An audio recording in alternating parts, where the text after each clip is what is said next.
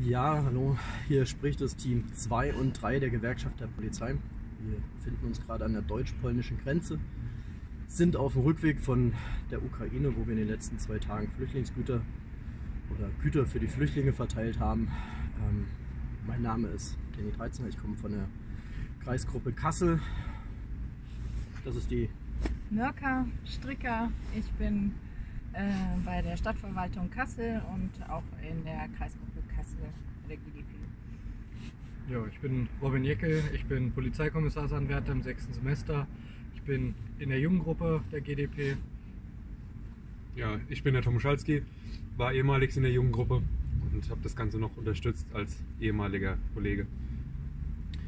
Das ist die zweite Version von diesem Video. Wir haben bereits eins äh, in Schelm vor einem Kinderheim gedreht und ähm, da kann man glaube ich sagen, dass es nicht ganz angemessen war, ähm, das alles so zu schildern. Da waren die Eindrücke zu präsent. Und jetzt haben wir alle mal eine Nacht drüber geschlafen, sind 2100 Kilometer mittlerweile gefahren und versuchen das alles aus einem anderen Blickwinkel zu sehen.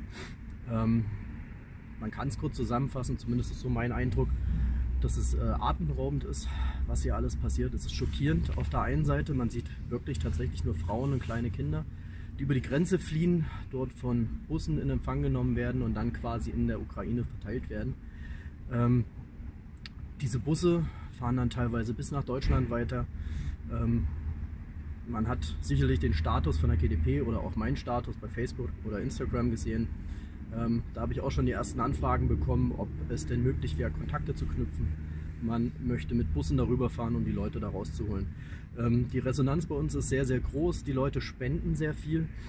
Ähm, das haben auch wir gemerkt. Deswegen fährt die Gewerkschaft der Polizei auch nochmal darunter. Das wird noch zwei, drei, vier, fünf Fahrten geben. Ähm, von den Spendengütern her ist es äh, so, dass sehr, sehr viele Kinderartikel benötigt werden, weil die gehen dann zum einen direkt über die Grenze oder in ein Kinderheim oder werden halt in diesen diversen Flüchtlingslagern verteilt, wo halt wirklich ganz, ganz viele Menschen sich um ganz, ganz viel kümmern ähm, und sich wirklich binnen kürzester Zeit komplett aufbrauchen. Vor zwei Wochen sah das Leben bei den Helfern auch ganz anders aus und mittlerweile sind sie ängstlich, aber hochmotiviert, allen Leuten zu helfen und äh, da war es ganz schön, dass wir einen kleinen Teil da irgendwie zu beitragen konnten. Ja, ich möchte eigentlich da ein bisschen anknüpfen. Wir sind sehr, sehr herzlich aufgenommen worden von den Helfern. Bei denen äh, bricht natürlich die Welt zusammen. Die sind sehr nah am Geschehen. Die sind keine 30 Kilometer von der Grenze entfernt und äh, sind wirklich äh, nach dieser kurzen Zeit schon vollkommen am Limit. Ähm, weil die einfach Angst um ihr Leben haben und äh, sehen, was es mit anderen Leben macht. Und ähm, es war schon sehr beeindruckend, äh, mit, mit wie viel Herzblut die trotzdem in diese ganze Geschichte reingehen. Es ist super wichtig, äh, dort ähm, da zu sein ähm, und äh, die Leute emotional auch äh, zu unterstützen. Natürlich äh, brauchen die aber nicht nur Sachspenden, Geldspenden, äh, damit man das, was wirklich gebraucht wird, auch äh, aufteilen kann. Ähm, medizinische Ware ist äh, auf jeden Fall immer benötigt. Ja, wer auch immer gute Kontakte hat, äh, darf das natürlich immer noch gerne spenden. Äh, Verbandskästen, die laufen fast alle bei uns aus jetzt. dort werden sie aber gebraucht. Da guckt kein Mensch drauf, ob da noch ein Aufkleber drauf ist oder nicht. Ähm, ja, also ich äh, bin froh, dass ich jetzt noch mal eine Nacht geschlafen habe. Äh, es war sehr emotional auch im Kinderheim zu sehen, dass uns ähm, dort eigentlich am liebsten die Kinder ins Auto gesetzt worden wären. Ähm, und das ist schon mal eine Hausnummer. Ähm, ja. Und, ähm, aber trotz alledem, äh, die sind echt äh, tapfer, die Leute. Äh, und äh, ja, wir brauchen natürlich trotzdem die Unterstützung.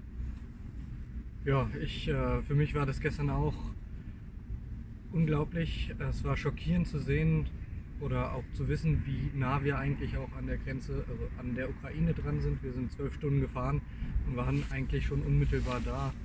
Und ähm, neben den wirklich erschreckenden und traurigen Bildern war es aber auch unglaublich beeindruckend, wie hilfsbereit und wie, was, was für eine große Gemeinschaft es überhaupt gibt, um den Menschen aus der Ukraine zu helfen. Jeder packt an, jeder war dabei.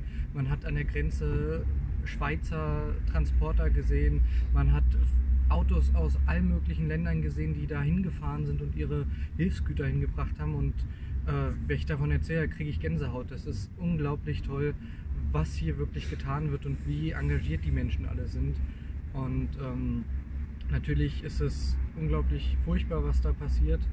Aber ich bin froh, dass wir jetzt hier hingefahren sind, dass wir vier ähm, ein bisschen einen Teil dazu beitragen konnten und ich kann mich meinen Vorrednern nur ansprechen, äh, ich kann mich meinen Vorrednern äh, nur ähm, Anschließen. anschließen, genau.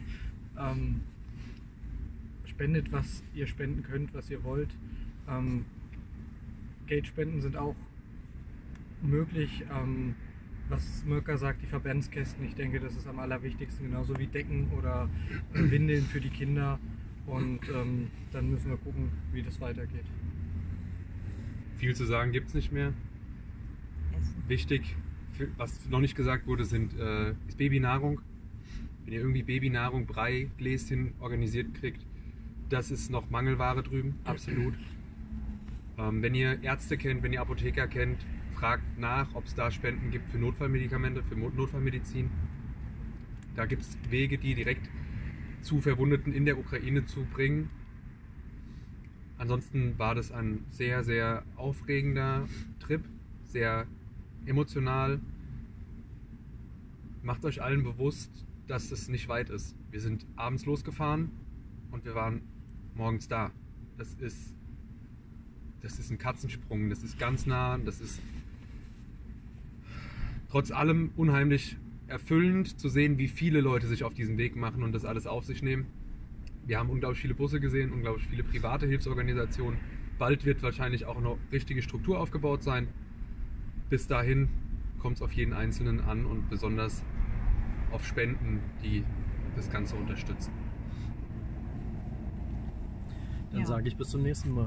Wir Bis fahren dann. wieder Wir runter. fahren ne? noch mal.